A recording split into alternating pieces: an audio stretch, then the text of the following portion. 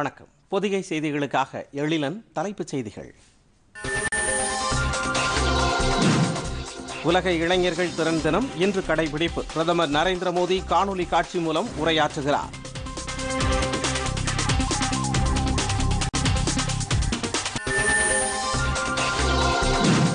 France தேசிய தினத்தையொட்டி அதிபர் இமானுவேல் மேக்ரானுக்கு பிரதமர் நரேந்திர மோடி வாழ்த்து. இருதரப்பு ஒத்துழைப்பு மேலும் மேம்படுத்தப்படும் என உறுதி.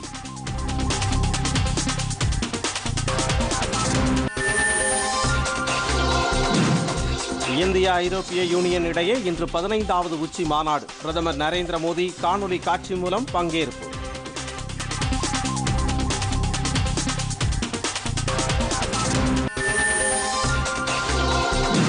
பயணிகள் ரயில் சேவையை தற்போதைய சூழலில் முழு அளவில் செயல்படுத்தும் திட்டம் இல்லை. ரயில்வே அமைச்சர் பியூஷ் கோயல்.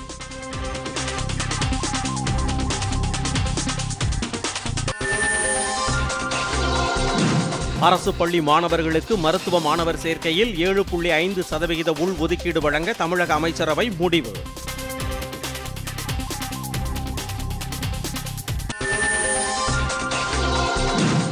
சீனாவுடன் இரண்டாம் கட்ட வர்த்தக ஒப்பந்தம் தொடர்பாக பேச்சு நடத்தப்போவதில்லை அமெரிக்க அதிபர் டொனால்ட் ட்ரம்ப்.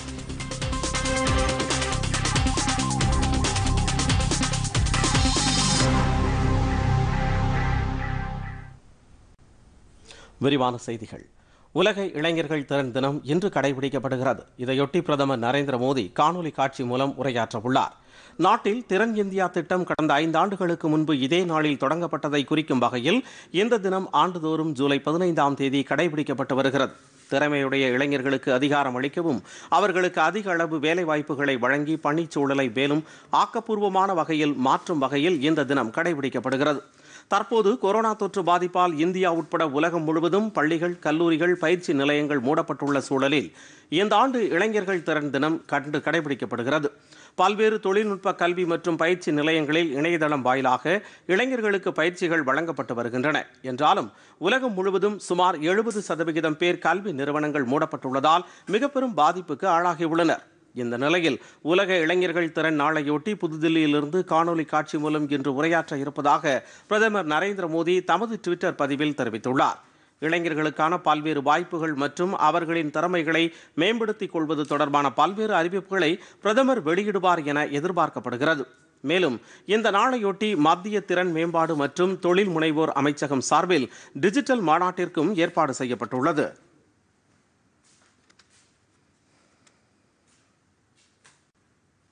பிரான்ஸ் தேசிய தினத்தையொட்டி பிரதமர் நரேந்திர மோடி அந்நாட்டு அதிபர் இமானுவேல் மேக்ரானுக்கும் மக்களுக்கும் வாழ்த்துக்களை தெரிவித்துக் கொண்டுள்ளார். இதுகுறித்து பிரதமர் வெளியிட்டுள்ள ட்விட்டர் செய்தியில் பிரான்ஸ் நாட்டுடனான இந்தியாவின் முக்கியமான இரு- இருதரப்பு பங்களிப்பை மேலும் வலுப்படுத்த தமது தலைமையிலான அரசு உறுதி பூண்டுள்ளதாக குறிப்பிட்டுள்ளார். தமது நண்பரும் பிரான்ஸ் அதிபருமான இமானுவேல் மேக்ரானுக்கும் அந்நாட்டு மக்களுக்கும் இந்த நாளில் தமது வாழ்த்துக்களை தெரிவித்துக் கொள்வதாகவும் பிரதமர் தமது செய்தியில் கூறியுள்ளார். மேலும் பிரான்ஸ் நாட்டுடனான இந்தியாவின் ஒத்துழைப்பை மேலும் மேம்படுத்தவும் அரசு உறுதி பூண்டுள்ளதாக பிரதமர் தெரிவித்துள்ளார்.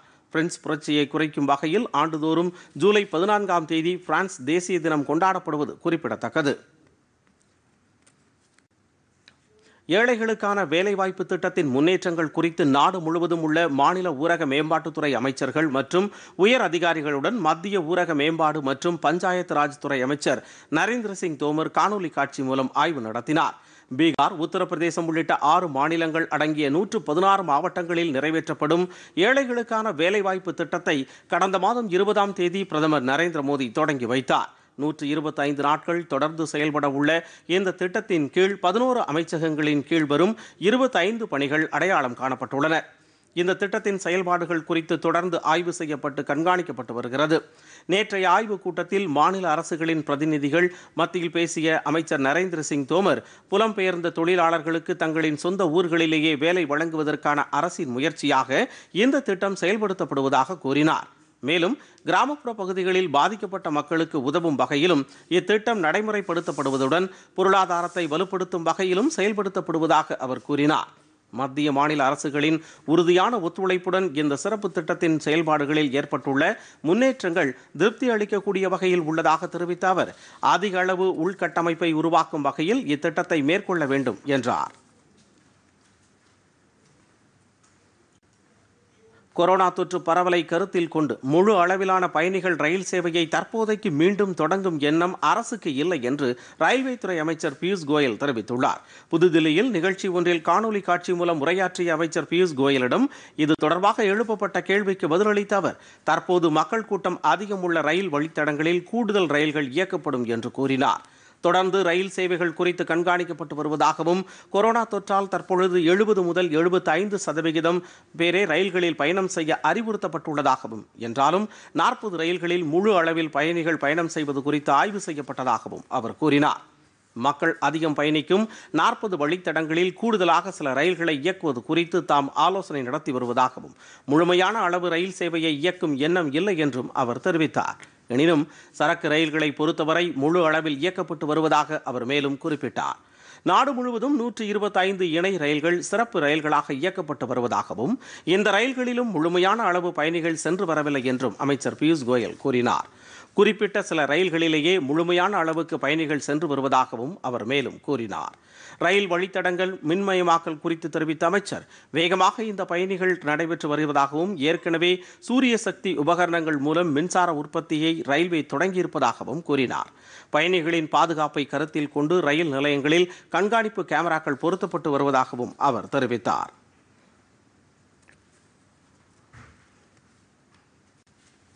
பிரதம மந்திரி ஏழைகள் உணவு திட்டம் நீட்டிக்கப்பட்டுள்ள நிலையில் பல்வேறு மாநிலங்களுக்கும் இதுவரை சுமார் இரண்டு லட்சத்து தொன்னூற்று ஐந்தாயிரம் மெட்ரிக் டன் உணவு தானியங்கள் அனுப்பப்பட்டுள்ளதாக மத்திய உணவு மற்றும் நுகர்வோர் நலத்துறை அமைச்சர் ராம்விலாஸ் பாஸ்வான் கூறியிருக்கிறார். இது தொடர்பாக அவர் வெளியிட்டுள்ள ட்விட்டர் பதிவில் ஜூலை மாதம் முதல் நவம்பர் மாதம் வரை அனைத்து மாநிலங்களுக்கும் இலவசமாக உணவு தானியங்கள் வழங்க அரசு முடிவெடுத்துள்ள நிலையில் மொத்தம் இரண்டு கோடியே மூன்று லட்சம் மெட்ரிக் டன் அளவுக்கு நிர்ணயிக்கப்பட்டுள்ளதாக தெரிவித்தார். கடந்த ஒன்றாம் தேதி வரை பதிமூன்று லட்சத்து அறுபத்து ஒன்பதாயிரம் மெட்ரிக் டன் உணவு தானியங்கள் நானூற்று எண்பத்து ஒன்பது சரக்கு ரயில் பெட்டிகள் மூலம் மாநிலங்களுக்கு அனுப்பப்பட்டுள்ளதாகவும் அவர் கூறினார்.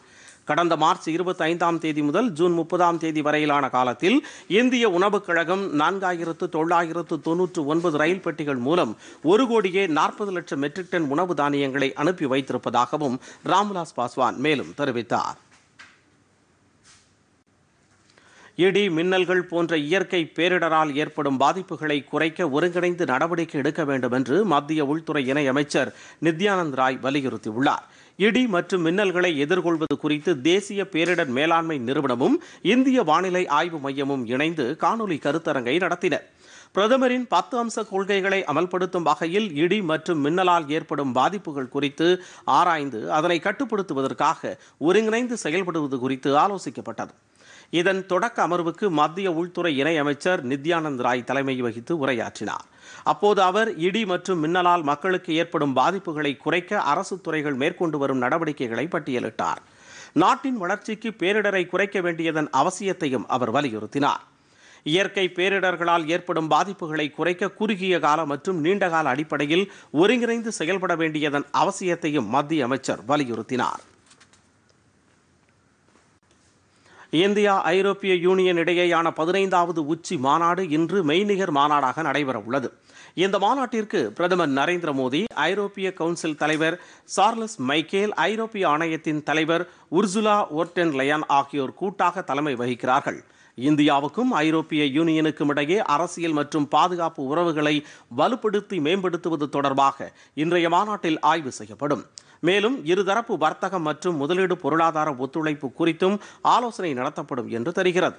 உலக அளவில் கொரோனா பெருந்தொற்றால் ஏற்பட்டுள்ள பாதிப்புகள் மற்றும் தடுப்பு நடவடிக்கைகளில் ஏற்பட்டுள்ள முன்னேற்றங்கள் குறித்தும் இந்த மாநாட்டில் ஆலோசனை நடத்தப்பட உள்ளது.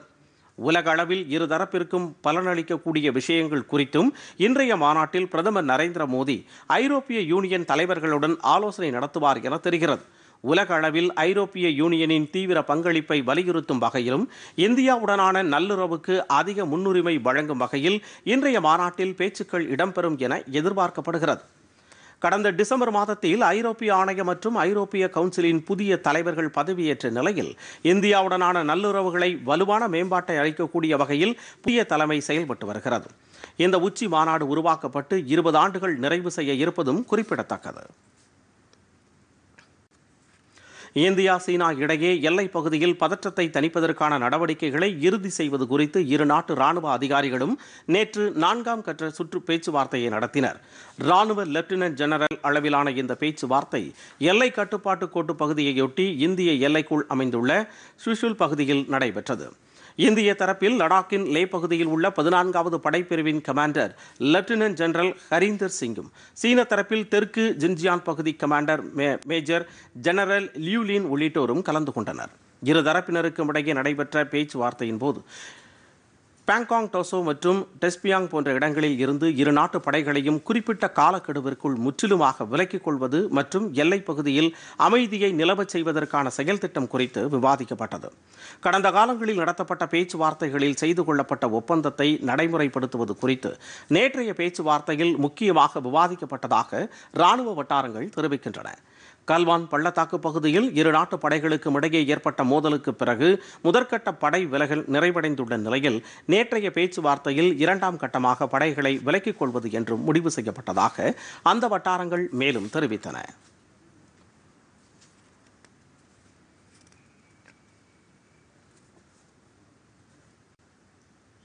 ராஜஸ்தான் மாநிலத்தில் முதலமைச்சர் அசோக் கெலாட்டிற்கு எதிர்ப்பு தெரிவித்த அம்மாநில துணை முதலமைச்சர் சச்சின் பைலட் பதவியிலிருந்து நீக்கப்பட்டுள்ளார். மேலும் அவர் வகித்த ராஜஸ்தான் மாநில காங்கிரஸ் கமிட்டி தலைவர் பதவியிலிருந்தும் சச்சின் பைலட் நீக்கப்பட்டுள்ளார். ராஜஸ்தான் மாநிலத்தில் முதல் முதலமைச்சர் அசோக் கெலாட்டிற்கும் துணை முதலமைச்சர் சச்சின் பைலட்டிற்கும் இடையேயான கருத்து வேறுபாடுகள் அதிகரித்த நிலையில் ஜெய்ப்பூரில் நேற்று மாநில அமைச்சரவை கூட்டம் நடைபெற்றது. இந்த கூட்டத்தில் சச்சின் பைலட்டும் அவரது ஆதரவு அமைச்சர்கள் இருவரும் பங்கேற்கவில்லை. இதனைத் தொடர்ந்து முதலமைச்சர் அசோக் கெலாட் ஆளுநர் கல்ராஜ் மிஸ்ராவை அவரது மாளிகையில் சந்தித்து தமது அரசுக்கு எதிராக போர்க்கொடி தூக்கிய துணை முதலமைச்சர் சச்சின் பைலட் மற்றும் அவரது ஆதரவாளர்களான விஸ்வேந்திர சிங் மற்றும் ரமேஷ் மீனா ஆகிய மூன்று பேரையும் அமைச்சரவையிலிருந்து விடுவிக்குமாறு கோரிக்கை விடுத்தார். இதனை ஆளுநர் ஏற்றுக்கொண்டதை அடுத்து சச்சின் பைலட் உள்ளிட்ட மூன்று பேரும் அமைச்சரவையிலிருந்து நீக்கப்பட்டதாக காங்கிரஸ் செய்தி தொடர்பாளர் ரன்தீப் சுர்ஜேவாலா தெரிவித்தார். இது தவிர மாநில காங்கிரஸ் கமிட்டி தலைவர் பதவியிலிருந்தும் சச்சின் பைலட் விடுவிக்கப்பட்டிருப்பதாக அவர் கூறினார். தமது நீக்கம் குறித்து ட்விட்டரில் கருத்து தெரிவித்துள்ள சச்சின் பைலட் நியாயம் வெல்லும் என்றும் அதனை தோற்கடிக்க முடியாது என்றும் குறிப்பிட்டுள்ளார். இந்த சூழலில் ராஜஸ்தான் காங்கிரஸ் அரசுக்கு ஏற்பட்டுள்ள நெருக்கடி குறித்து அம்மாநில பிஜேபி உயர்மட்ட தலைவர்கள் நேற்று கூடி ஆலோசனை நடத்தியுள்ளனர். அசோக் கெலாட் தலைமையிலான அரசு தமது பெரும்பான்மையை சட்டப்பேரவையில் நிரூபிக்க வேண்டும் என்று மாநில பிஜேபி தலைவர் குலாப் சந்த் கட்டாரியா வலியுறுத்தியுள்ளார். இதற்கிடையே ராஜஸ்தான் மாநில காங்கிரஸ் நிர்வாகிகள் ஐம்பத்து ஒன்பது பேர் நேற்று சச்சின் பைலட்டிற்கு ஆதரவு தெரிவிக்கும் வகையில் கூண்டோடு ராஜினாமா செய்துள்ளனர்.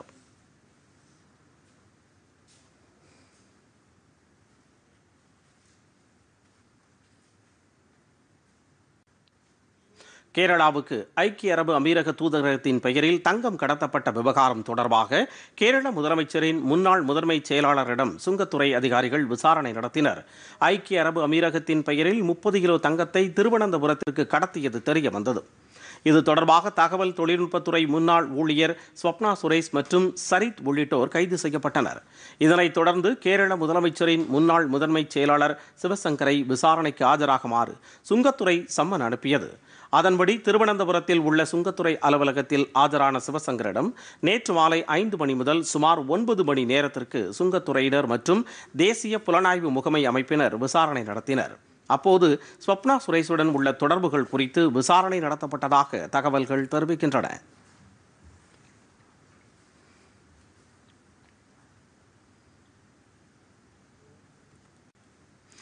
பள்ளி மாணவர்களுக்கு ஆன்லைன் வகுப்புகள் நடத்துவதற்கான வழிகாட்டு நெறிமுறைகளை மத்திய மனிதவள மேம்பாட்டு அமைச்சகம் வெளியிட்டுள்ளது.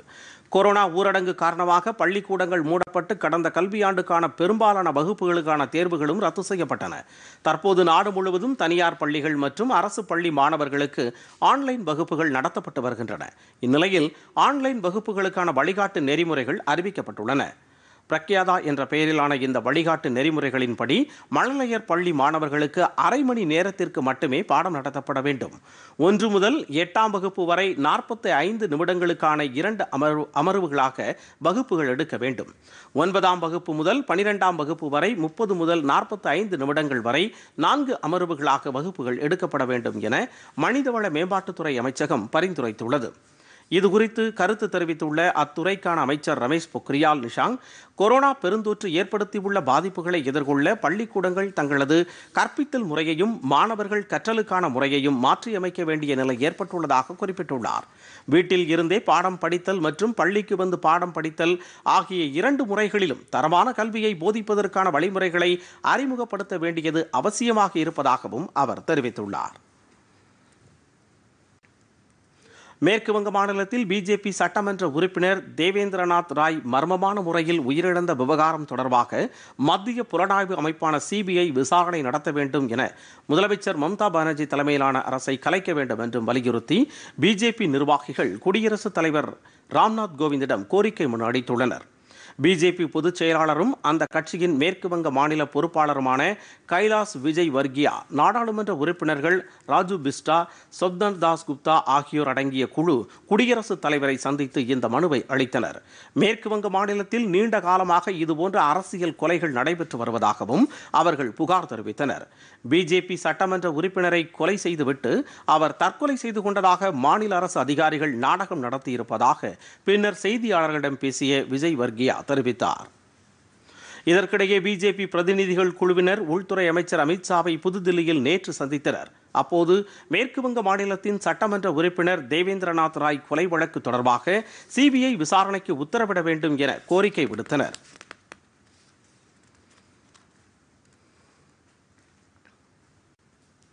கொரோனா பரவலை கட்டுப்படுத்தும் வகையிலான ரயில் பெட்டிகளை இந்திய ரயில்வே தயாரித்துள்ளது. கொரோனா வைரஸ் தொற்று வேகமாக பரவி வரும் நிலையில் அதனை கட்டுப்படுத்த பொது போக்குவரத்திற்கு கடும் கட்டுப்பாடுகள் விதிக்கப்பட்டுள்ளன. இந்நிலையில் கொரோனாவுக்கு எதிராக போராடும் வகையிலான ரயில் பெட்டிகளை கபுர்தலாவில் உள்ள ரயில்பட்டி தொழிற்சாலை தயாரித்துள்ளது. இதில் தண்ணீர் குழாய்கள் மற்றும் சோப்பு நுரைகளை வழங்கும் கருவிகளை கால் மூலமாகவே இயக்கும் வசதி செய்யப்பட்டுள்ளது. கழிவறை கதவுகள் மற்றும் தண்ணீரை வெளியிடும் குழாய்கள் ஆகியவற்றையும் கால்களாலேயே இயக்க முடியும் என்று ரயில்வே அமைச்சகம் தெரிவித்துள்ளது. மேலும் குளிர்சாதன வசதி கொண்ட பெட்டிகளில் கொரோனா போன்ற வைரஸ் தொற்றுக்களை வெளியேற்றும் வகையிலான பிளாஸ்மா காற்று வசதி ஏற்படுத்தப்பட்டுள்ளதாகவும் அதிகாரிகள் தெரிவித்துள்ளனர்.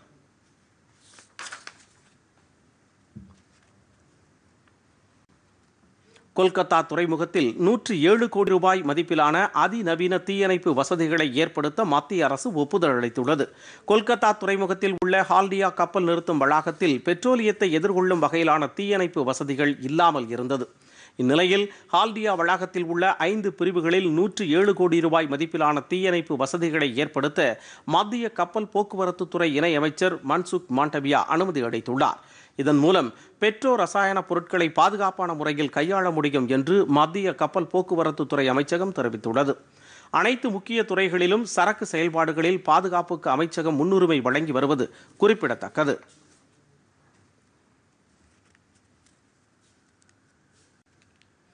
இந்தியாவில் உருவாக்கப்பட்டுள்ள கொரோனா தடுப்பு மருந்துகளை மனிதர்களுக்கு செலுத்தி பரிசோதிக்கும் பணிகள் தொடங்கியிருப்பதாக இந்திய மருத்துவ ஆராய்ச்சி கவுன்சிலான ஐசிஎம்ஆர் தெரிவித்துள்ளது. இந்த மருந்துகளை தங்களுக்கு செலுத்தி பரிசோதனைகளை மேற்கொள்ள ஐசிஎம்ஆருடன் இணைந்து பாரத் பயோடெக் நிறுவனம் உருவாக்கியுள்ள தடுப்பு மருந்துகளை மக்களுக்கு பரிசோதித்து அதையும் கொடுப்பதற்காகவும் மருந்துகளை சைட்டோஸ் கார்டிலா ஹெல்த் கேர் நிறுவனம் உருவாக்கியுள்ள தடுப்பு மருந்தையும் மனிதர்களுக்கு செலுத்தி முதல் மற்றும் இரண்டாம் கட்ட பரிசோதனைகளை மேற்கொள்ள ஏற்கனவே ஐசிஎம்ஆர் அனுமதி அளித்துள்ளது. எலிகள் முயல்களுக்கு இந்த மருந்துகள் செலுத்தப்பட்டு பரிசோதிக்கப்பட்டுள்ளன. அவற்றின் முடிவுகள் இந்திய மருந்து கட்டுப்பாட்டு தலைமையகத்திற்கு அனுப்பி வைக்கப்பட்டன. அதனை அடுத்தே மனிதர்களுக்கு பரிசோதனை நடத்த அனுமதி வழங்கப்பட்டது. அதன் அடிப்படையில் தற்போது இந்த பரிசோதனைகள் தொடங்கியிருப்பதாக பார்கவா தெரிவித்துள்ளார். மத்திய இடைநிலை கல்வி வாரியமான சிபிஎஸ்இ பத்தாம் வகுப்பு தேர்வு முடிவுகள் இன்று வெளியிடப்படுகின்றன. ட்விட்டரில் இதனை உறுதி செய்துள்ள மத்திய மனிதவள மேம்பாட்டுத்துறை அமைச்சர் ரமேஷ் பொக்ரியால் நிஷாங் தேர்வு எழுதியுள்ள மாணவர்களுக்கு வாழ்த்துக்களை தெரிவித்துள்ளார். கொரோனா பாதிப்பு காரணமாக சில பாடங்களுக்கு தேர்வு ரத்து செய்யப்பட்ட நிலையில் மாற்று மதிப்பீட்டு முறை மூலம் மாணவர்களின் தேர்ச்சி கணக்கிடப்பட்டு முடிவுகள் அறிவிக்கப்பட்டுள்ளன. சிபிஎஸ்இ பிளஸ் டூ தேர்வு முடிவுகள் நேற்று முன்தினம் வெளியான நிலையில் பத்தாம் வகுப்பு தேர்வு முடிவுகள் இன்று வெளியாகின்றன.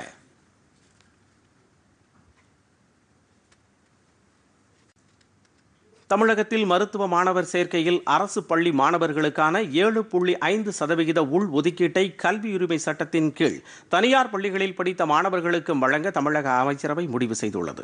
தமிழக அமைச்சரவை கூட்டம் முதலமைச்சர் எடப்பாடி பழனிசாமி தலைமையில் தலைமைச் செயலகத்தில் நடைபெற்றது. அப்போது அரசு பள்ளிகளில் படித்து நீட் தேர்வில் தேர்ச்சி பெறும் மாணவர்களுக்கு ஏழு புள்ளி ஐந்து சதவிகிதம் உள் இடஒதுக்கீடு வழங்க ஏற்கனவே அனுமதி அளிக்கப்பட்டுள்ள நிலையில் கல்வி உரிமை சட்டத்தின் கீழ் எட்டாம் வகுப்பு வரை தனியார் பள்ளிகளில் படித்துவிட்டு பின்னர் அரசு பள்ளிகளில் சேரும் மாணவர்களுக்கும் உள் ஒதுக்கீட்டின் கீழ் இட வழங்க ஒப்புதல் அளிக்கப்பட்டது. இதற்கான அவசர சட்டம் விரைவில் பிறப்பிக்கப்பட்டு நடப்பு கல்வியாண்டிலேயே ஏழு புள்ளி ஐந்து சதவிகித உள் ஒதுக்கீட்டின் கீழ் மாணவர் சேர்க்கை நடைபெற உள்ளது இதன் மூலம் மருத்துவ படிப்புகளில் சேரும் அரசு பள்ளி மாணவர்களின் எண்ணிக்கை நானூறு முதல் ஐநூறு வரை அதிகரிக்கும் என்று எதிர்பார்க்கப்படுகிறது. நேற்று நடைபெற்ற அமைச்சரவை கூட்டத்தில் தமிழகத்தில் எட்டு தொழில் நிறுவனங்கள் ஐந்தாயிரம் கோடி ரூபாய் அளவுக்கு முதலீடு செய்ய ஒப்புதல் அளிக்கப்பட்டது. தூத்துக்குடி மாவட்டத்தில் பனை தொழிலை பிரதானமாக கொண்டு செயல்பட்டு வரும் பெண்களுக்கு பிரதமரின் கிராமப்புற சுய வேலைவாய்ப்பு திட்டத்தின் கீழ் கடனுதவி வழங்கப்படுவதால் அவர்களின் வாழ்வாதாரம் மேம்பட்டுள்ளது. மக்களின் தொழில் மேம்பாட்டிற்காக பல்வேறு நிதி உதவிகளை மத்திய நிதியமைச்சகம் வழங்கி வருகிறது. கொரோனா பொது ஊரடங்கு காலத்தில் சுயசார்பு திட்டத்தின் கீழ் இருபது லட்சம் கோடி ரூபாய் மதிப்பிலான கடன் உதவிகள் தொழில் முனைவோருக்கு வங்கிகள் மூலம் வழங்கப்பட்டு வருகின்றன. அதன் ஒரு பகுதியாக தூத்துக்குடி மாவட்டம் எக்கநாயக்கன்பட்டி கிராமத்தில் பனை தொழிலை பிரதானமாக கொண்டு சுய தொழிலில் ஈடுபடும் பெண்கள் பனை தொடர்பான மதிப்பு கூட்டு பொருட்களை தயாரிக்க தனியாரிடமிருந்து அதிக வட்டிக்கு கடன் பெற்று சிரமப்பட்டு வந்தனர். இந்த நிலையில் அங்குள்ள பேங்க் ஆஃப் இந்தியா கிளை மூலம் பிரதமரின் கிராம சுய வேலைவாய்ப்பு திட்டத்தின் கீழ் கடன் உதவிகள் வழங்கப்படுகின்றன. கடன் உதவியை பெற்ற பெண்கள் பலர் பதநீர் இறக்குதல் கருப்பட்டி தயாரித்தல் போன்ற தொழில்களில் ஈடுபட்டு வருகின்றனர். மத்திய அரசின் கடன் உதவி தங்களுக்கு மிகவும் பேருதவியாக இருப்பதாக பயனாளிகள் தெரிவித்தனர். பனையரும் தொழில் செஞ்சுட்டு வராங்க. எங்கள் தொழிலுக்கு மூணு லட்சம் முதலீடு தேவை. அதனால் தனி நான் தனி நபரிடந்து மூணு பைசா வட்டியில இருந்து வாங்கிட்டு இந்த தொழிலை செஞ்சு வந்தோம். அது எங்களுக்கு இந்த பணம் கிடச்சிச்சு. அதனால இந்த பாரத பிரம்ம கிராமப்புற மத்திய வேலையினால எங்களுக்கு இந்த பணம் வந்து கிடைச்சிச்சு. அதனால எங்க இந்த பேங்க் ஆஃப் இந்தியாவுக்கு நன்றியை தெரிவித்துக் கொள்கிறோம். எங்களுக்கு இப்போ லோன் ரொம்ப கொஞ்சம் பணம் ரொம்ப அர்ஜென்ட்டாக இருந்துச்சு. நாங்கள் இந்த மாதிரி எழுதி போட்டிருந்தோம். கிராமப்புறத்தில் இப்படி பனை தொழில் பார்க்குறதுக்கு வேலை வாய்ப்புக்காக எங்களுக்கு மத்திய மத்திய அரசுலேருந்து கொடுத்துருக்காங்க. இல்லை மத்திய அரசுக்கும் எங்கள் பேங்க் ஆஃப் இந்தியாவுக்கும் நன்றி. மக்களோட பிரதானமான தொழில் வந்து பனை ஏறி அந்த பயணி பயணி இறக்கி அதிலிருந்து கருப்பட்டி தயாரிக்கிற தொழில் அவங்க பண்ணுறாங்க எங்கள் வங்கியில் பிஎம்இஜிபி திட்டத்தின் கீழே கேவிஐசி மானியத்தில் லோன் அப்ளை பண்ணியிருக்காங்க. அது அப்ளை பண்ணவங்க கிட்டத்தட்ட ஐம்பத்தி மூணு பேர். எல்லாமே பெண்கள் தான். ஸோ அது அவங்களோட குடும்பம் அந்த லோன் மூலமாக அவங்க குடும்பத்துக்கு ஒரு முன்னேற்றமாக இருக்கும் அப்படின்னு நினைக்கிறோம். அவங்க தொழிலும் அதில் அதன் மூலமாக முன்னேறும் அப்படின்னு எங்களுக்கு நம்பிக்கை இருக்குது இந்தியாவில் கொரோனாவால் பாதிக்கப்பட்டவர்களின் எண்ணிக்கை ஒன்பது லட்சத்தை கடந்துள்ள நிலையில் அறுபத்து மூன்று புள்ளி பூஜ்ஜியம் இரண்டு சதவிகிதத்தினர் குணமடைந்துள்ளதாக மத்திய சுகாதார அமைச்சகம் தெரிவித்துள்ளது. தமிழகத்தில் நேற்று ஒரே நாளில் நான்காயிரத்து ஐநூற்று இருபத்தாறு பேருக்கு தொற்று உறுதி செய்யப்பட்டதால் ஒட்டுமொத்த பாதிப்பு ஒன்றரை லட்சத்தை நெருங்குகிறது. அவர்களில் தொன்னூற்றி ஏழு ஆயிரம் பேர் குணமடைந்து வீடு திரும்பியுள்ளதாக தமிழக சுகாதாரத்துறை தெரிவித்துள்ளது.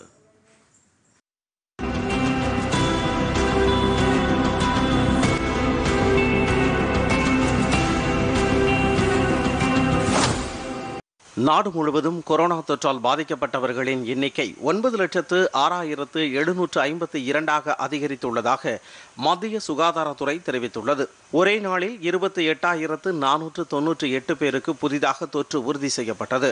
அதேவேளையில் இந்நோய் தொற்றிலிருந்து ஐந்து லட்சத்து எழுபத்தோராயிரத்து நானூற்று அறுபது பேர் பூரண குணமடைந்து வீடு திரும்பியுள்ளனர்.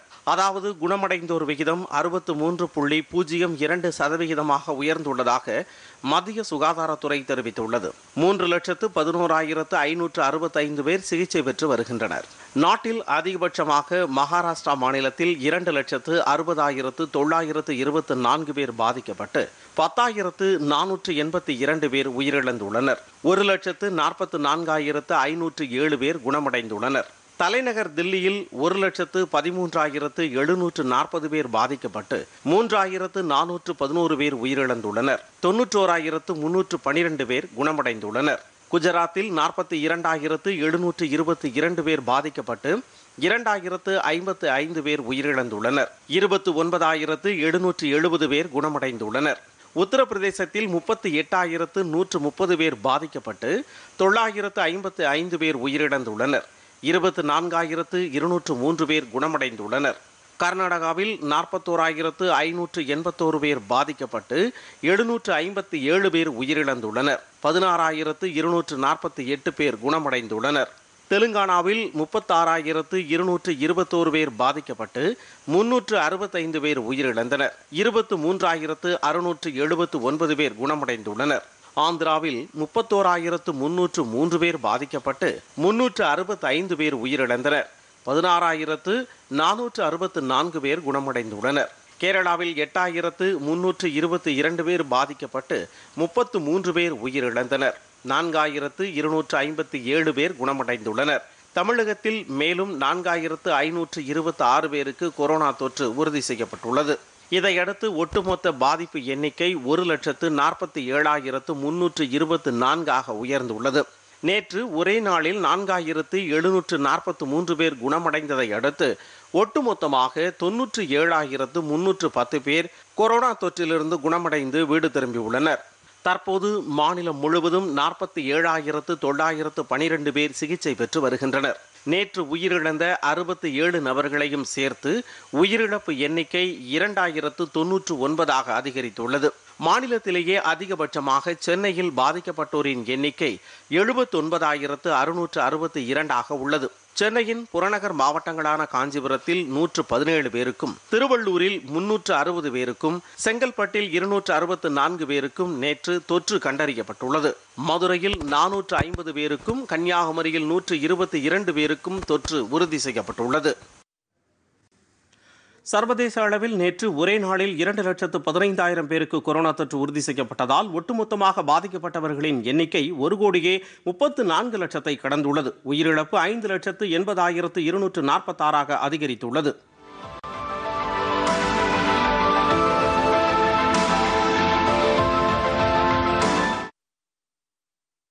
சீனாவில் உருவான கொரோனா வைரஸ் உலக நாடுகளில் வேகமாக பரவி வருகிறது. அமெரிக்காவில் நேற்று ஒரே நாளில் அறுபத்தி ஐந்தாயிரம் பேருக்கு புதிதாக தொற்று கண்டறியப்பட்டது. இதனால் அங்கு பாதிக்கப்பட்டவர்களின் எண்ணிக்கை முப்பத்து ஐந்து லட்சத்து நாற்பத்து நான்காயிரமாக அதிகரித்துள்ளது. ஒரு லட்சத்து முப்பத்து ஒன்பதாயிரத்து நூற்று முப்பத்து ஐந்து பேர் உயிரிழந்தனர். பதினைந்து லட்சத்து தொண்ணூறாயிரத்து எண்ணூற்று அறுபத்தி ஏழு பேர் குணமடைந்துள்ளனர். இதேபோல் பிரேசிலிலும் தொற்று தீவிரமாக பரவி வருகிறது. நேற்று ஒரே நாளில் நாற்பத்து மூன்றாயிரத்து இருநூற்று நாற்பத்து ஐந்து பேர் பாதிக்கப்பட்டு ஒட்டுமொத்த பாதிப்பு பத்தொன்பது லட்சத்து முப்பத்தோராயிரத்து இருநூற்று நான்காக உயர்ந்துள்ளது. எழுபத்து நான்காயிரத்து இருநூற்று அறுபத்தி இரண்டு பேர் உயிரிழந்தனர். பனிரெண்டு லட்சத்து பதிமூன்றாயிரத்து ஐநூற்று பனிரெண்டு பேர் குணமடைந்துள்ளனர்.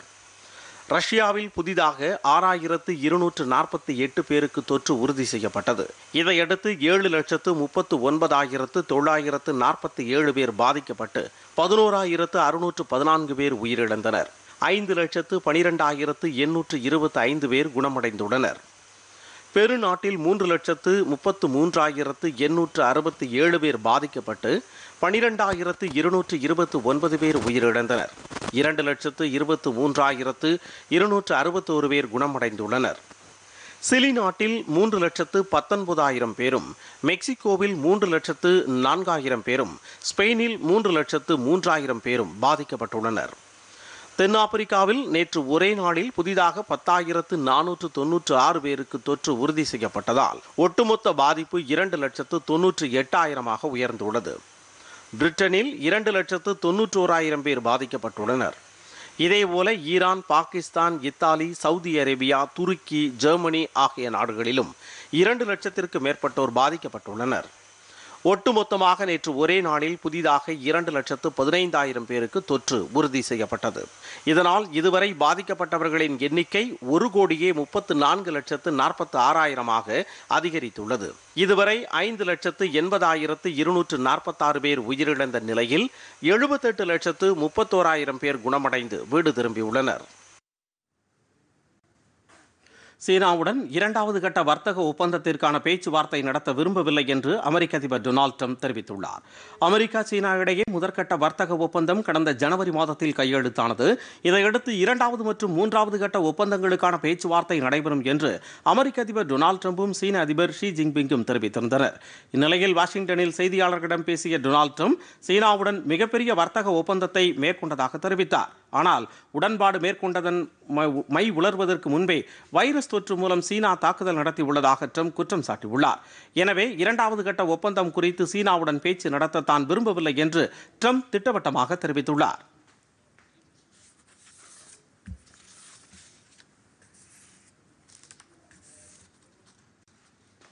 இனி தொடர்வது நாளிதழ்களில் இன்று.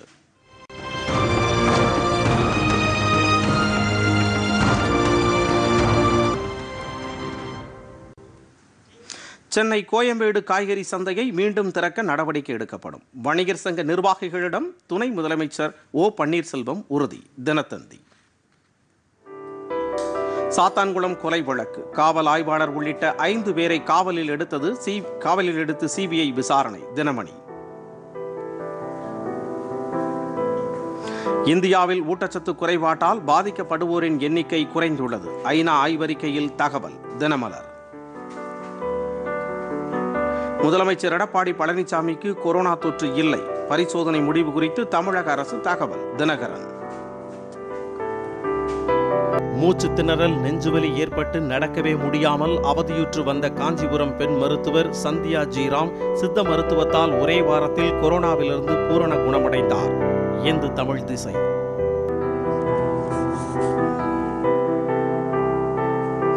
பொதிகை செய்திகளை யூடியூபில் தமிழ் நியூஸ் தூர்தர்ஷன் என்ற சேனலிலும் முகநூலில் டிடி பொதிகை நியூஸ் என்ற பக்கத்திலும் ட்விட்டரில் டிடி நியூஸ் சென்னை என்ற பக்கத்திலும் இன்ஸ்டாகிராமில் டிடி பொதிகை நியூஸ் என்ற பக்கத்திலும் காணலாம். மேலும் உங்கள் கருத்துக்களை Pothigai DD news at Gmail dot com என்ற மின்னஞ்சலில் தெரிவிக்கலாம். இத்துடன் இந்த செய்திகள் நிறைவடைந்தன. மீண்டும் செய்திகள் பகல் பதினோரு மணிக்கு. வணக்கம்.